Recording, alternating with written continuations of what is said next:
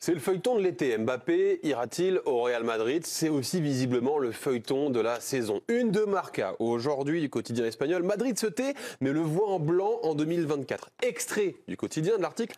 Les agents, joueurs et journalistes présents au théâtre du Châtelet, où il y a le ballon d'or évidemment sur la chaîne L'équipe, pensent tous que l'arrivée de Mbappé au Bernabéu arrivera en juin 2024. Dans le vestiaire du Real, cela va de soi. Vinicius, Rodrigo, Bellingham ont déjà une idée de la façon dont ils pourraient intégrer le français dans leur équipe. Ils sont déjà en train de réfléchir à comment ils vont pouvoir jouer avec Kylian Mbappé. 4 ans réfléchissent. Le scénario est bien écrit du côté de l'Espagne. Mais du côté du Paris Saint-Germain, qu'en est-il? Est-ce que ce feuilleton Mbappé peut perturber la saison du, euh, du PSG Parce qu'il a déjà commencé le feuilleton. C'est parti. Oh merde. Euh, pour Camille, c'est une musique pénible en fond. Donc oui, ça peut les perturber. Un grand oui pour Johan, un grand non pour Loïc, un petit non euh, du côté de Swan. Non, non, non, non, non. Ici, c'est tout le monde. Olivier, Adrien, non. Voilà, c'est Johan qui nous dit un grand oui. Johan, on va vous entendre dans un instant. Mais je voudrais qu'on aille en, en Espagne, parce qu'on a Antoine Simoneau qui, euh, qui, est, qui est avec nous, correspondant à Madrid, bien sûr, justement. La. Et, et j'aimerais bien avoir son, son avis, notamment. Tiens, il est là, Antoine? Je- Jean-Michel Bilingue. Ça va, Antoine?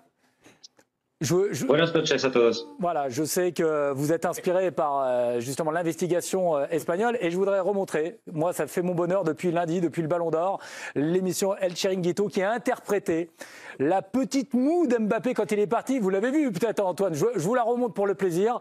Les journalistes espagnols l'interpellent sur sa venue au Real. Regardez, s'il vous plaît. Kylian, comment ça va? L'année prochaine au Real Madrid ou pas? Kylian, ¿el año que viene al Madrid o no? Une question et un geste très ¿El important.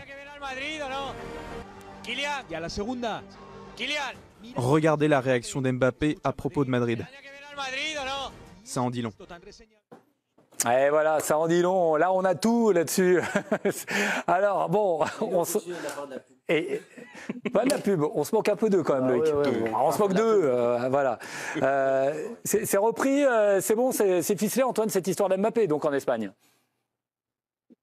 Oui, mais le, je veux dire, il y a eu une petite accalmie parce que euh, le, le feuilleton Mbappé euh, a été éclipsé depuis des mois par euh, la sensation euh, hypnotique euh, Jude Bellingham. Mais depuis euh, trois semaines, c'est revenu sur la table. Et, et pour un fait qui n'est pas anodin non plus, c'est un membre du conseil d'administration, José Manuel Otero, qui s'est exprimé publiquement euh, en disant qu'il était très confiant sur sa venue, notamment en disant que euh, Mbappé, enfin Zidane avait signé à, à 29 ans et qu'Mbappé euh, viendrait à 25 et que euh, si on lui demandait aujourd'hui euh, et qu'il était sincère, il, il dirait qu'il regrettait d'avoir prolongé au, au, au PSG. C'est une sortie médiatique très rare pour un membre du conseil d'administration euh, euh, du Real Madrid. Moi, j'en avais jamais vu depuis que je suis au, Real, donc c'est- pas anodin. Ça a certainement été aussi autorisé en haut lieu. Et effectivement, on se pose des, beaucoup de questions sur son avenir. Dans deux mois, il aura no- normalement euh, l'opportunité de négocier avec le, euh, le club de son choix, puisqu'il sera libre en juin prochain, comme tout le monde le sait. Et une chose est sûre, euh, Mbappé reste la priorité du Real Madrid et notamment de Florentino Pérez pour l'été prochain. Et alors, j'ai vu un truc, Antoine, vous allez me co- confirmer ou pas. Alors, ça vient toujours des Espagnols. Donc, bon, on émet des doutes, en effet. Loïc, je suis désolé, mais il y, a- y a- y a un journaliste qui dit qu'il il aurait une garantie, il aurait même signé un papier comme quoi il donnerait sa prime à la signature et il la rendrait au, au- au PSG. Vous avez entendu parler de ça ou pas, Loïc? Non, il a, il a, pour revenir dans le groupe cet été, Non, ça, il avait fait. Mais Mais, moi, j'ai lu en Espagne, on dit que dans un, euh, peu importe où il signe, sa prime à la signature, il a, il a donné au PSG voilà, pour pouvoir partir euh, libre. Je sais pas, Antoine, vous, avez vu cette info passer aussi ou alors, C'est pas peut-être vrai, hein, mais. Non, je, je, Benoît, pour être très honnête, j'ai pas Alors, vu cette, euh, cette info passer. Mais je sais que le, le dit. le Real, si, le Real qui cherche quand même à, à signer Mbappé, on va pas se, se mentir, euh, ne veut pas revivre aussi pareille mésaventure qu'en 2022. Et, et, et ils vont exiger euh, effectivement certaines garanties de, de sa part et de la part de, de son entourage euh, dans, dans les éventuelles négociations. Mon info vient de Juanfe Sanz, Hmm. journaliste espagnol. Je Ah, ne sais pas monsieur. euh, qui est ce monsieur, mais voilà. Le PSG euh, estime, même s'il part à la fin de son contrat, il part au Real l'année prochaine, ils vont estimer maintenant qu'il n'est pas parti libre parce qu'il a reversé une partie de ses Voilà. primes. au, euh, Il y a eu un accord financier, je ne sais pas si c'est les primes exactement, mais il y a un accord financier qui a été établi entre le, le- lui et le, le PSG. Donc le PSG estime qu'ils auront gagné de l'argent quand il arrive. Et alors Antoine, du côté de, euh, de Madrid aussi, il y a un autre argument euh, concernant Kylian Mbappé, parce que c'est dans l'actualité de la semaine, c'est le Ballon d'Or. Évidemment, c'est un des arguments principaux pour le- les Madrilènes. Bien évidemment, Benoît, et on connaît aussi la, la, puissance euh, et la force médiatique du Real Madrid euh, pour faire remporter des, des ballons d'or. Il y a un autre aussi argument qui est avancé au sein du, du club madrilène, ou en tout cas qui, qui les met en confiance, j'allais dire, euh, pour une éventuelle euh, signature d'Mbappé l'été prochain. C'est aussi la, la force d'attraction de, de la jeunesse talentueuse madrilène avec les Bellingham, les Vinicius, les, les Rodrigo, les deux qui viennent de prolonger, euh, Kamavinga, Chouamini, avec qui aussi euh, le Français entretient de, de bonnes relations. Euh, donc il y a cet argument-là aussi qui est, mis dans la balance. Euh, une chose est sûre, euh, il estime aussi que c'est la dernière opportunité entre guillemets pour Mbappé de, venir au Real Madrid, c'est-à-dire ce soit l'été prochain et libre. Et donc on est d'accord, il n'y aura pas de concurrence pour le Ballon d'Or entre Bellingham, Mbappé, Vinicius. Parce qu'il va falloir partager les voix à un moment donné. hein. Oui, mais avant qui va mettre les buts si Mbappé arrive au Real Madrid, je pense que ce sera lui. Et c'est souvent ce qui fait euh, ce qui fait la différence, c'est les joueurs qui mettent des buts et qui font gagner des titres. Est-ce que Kylian Mbappé va quitter le PSG l'été prochain, c'est-à-dire l'été 2024? Salut à toi et bienvenue dans cette vidéo. Dans cette vidéo, on va parler de Kylian, les amis. Mais avant de commencer, si tu me découvres à travers cette vidéo, ici, nous, on parle de foot. Ici, nous, on est passionné par le foot. Donc, si tu es intéressé par la thématique, si la thématique te parle, n'hésite pas de t'abonner et d'activer la cloche de notification pour ne rien manquer des prochaines vidéos. Si c'est fait, on est parti. Alors, on a encore recommencé avec le phaéton Kylian, les amis. Kylian partira, partira pas. Dans quelques mois, Kylian Mbappé sera libre de signer avec le club dont il souhaite poursuivre son aventure. Parce que en janvier, Kylian Mbappé sera libre de signer son contrat avec tout club. Il sera libre. Du coup, donc, est-ce qu'il va prolonger son contrat avec le PSG Est-ce qu'il va signer au Real de Madrid? Ou alors d'autres clubs comme Liverpool, Manchester City et j'en passe.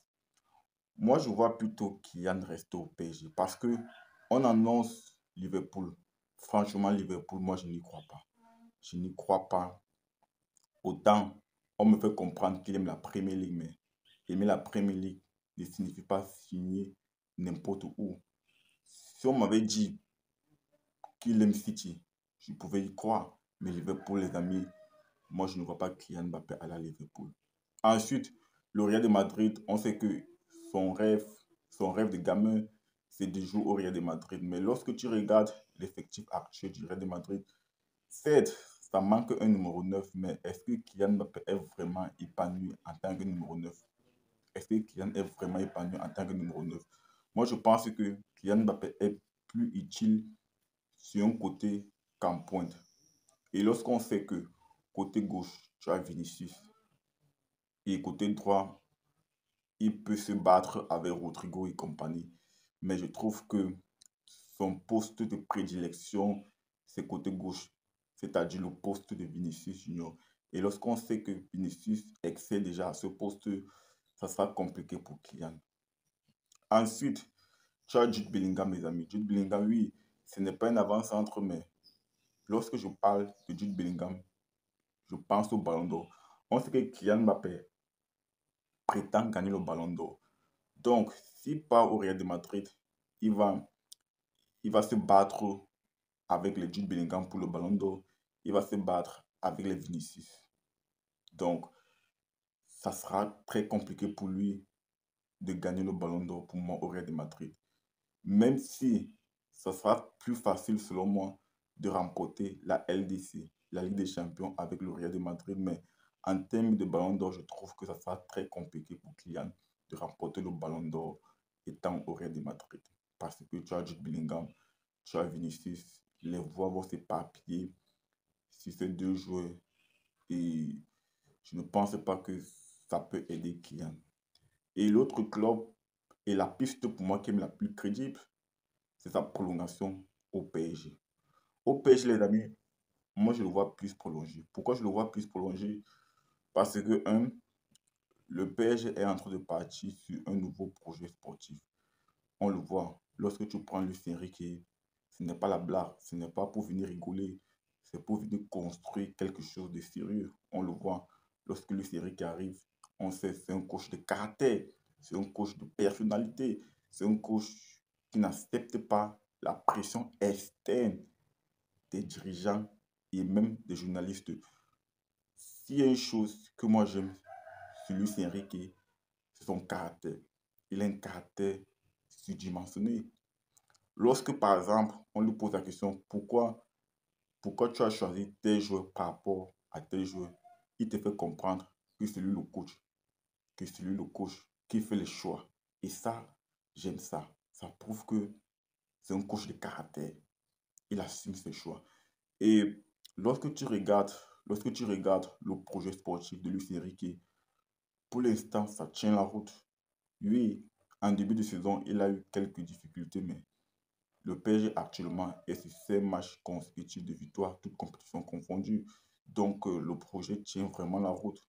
Ça tient vraiment la route. Tu as un Kylian Mbappé qui est la tête gondole de ce projet.